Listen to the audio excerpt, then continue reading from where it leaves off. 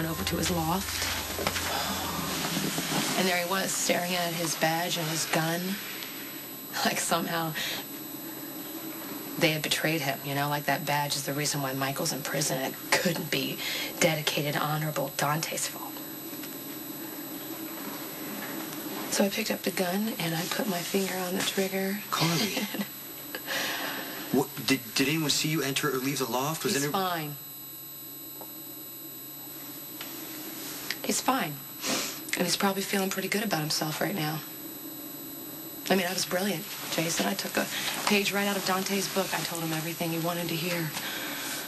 How it's not his fault that Michael's in prison. It's all on me because I chose to be with Sonny and I brought Michael into this dangerous life. Don't worry, I didn't lay it on too thick. I told Dante how much I hated that he turned Michael in. But I gotta tell you, the hardest part was not letting Dante know how much I despise him. You don't have to worry about Dante. And then there's Lulu. Man, it was priceless. She came over here tonight. Because she wants me to stop you. I'm supposed to ask you to keep away from Dante. Okay, you asked.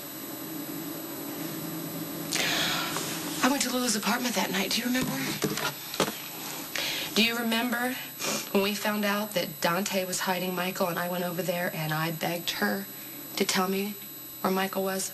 I begged her to keep Michael safe. Mm-hmm. And she chose Dante.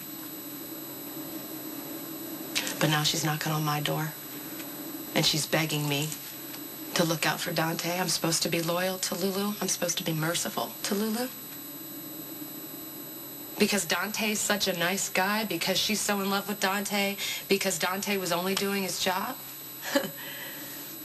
I told Lulu that Dante would be safe. And that you wouldn't hurt him. Carly. And you're not going to. You're not going to lay one finger on that son of a bitch or his backstabbing girlfriend. You're going to leave Dante and Lulu alone. Because I'm going to make him suffer. Just like Michael's suffering. Is that why you went? How was Michael when you saw him? Brave. Wonderful. Never once acted like he was afraid. What'd you tell him?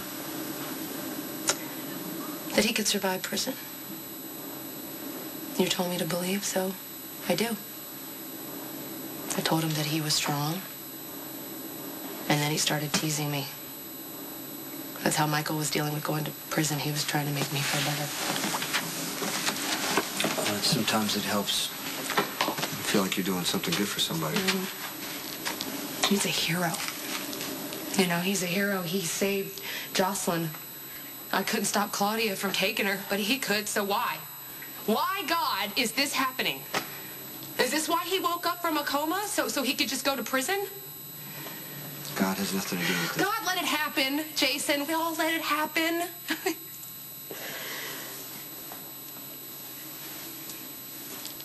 he was so brave today.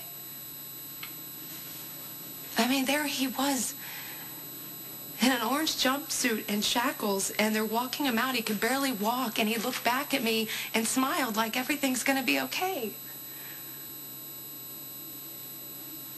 He looks so young. You know, he... He didn't look like a man. He looked like a little boy. And all I could see was every time that he fell and got back up and he looked at me like, Mom, everything's going to be okay. Was.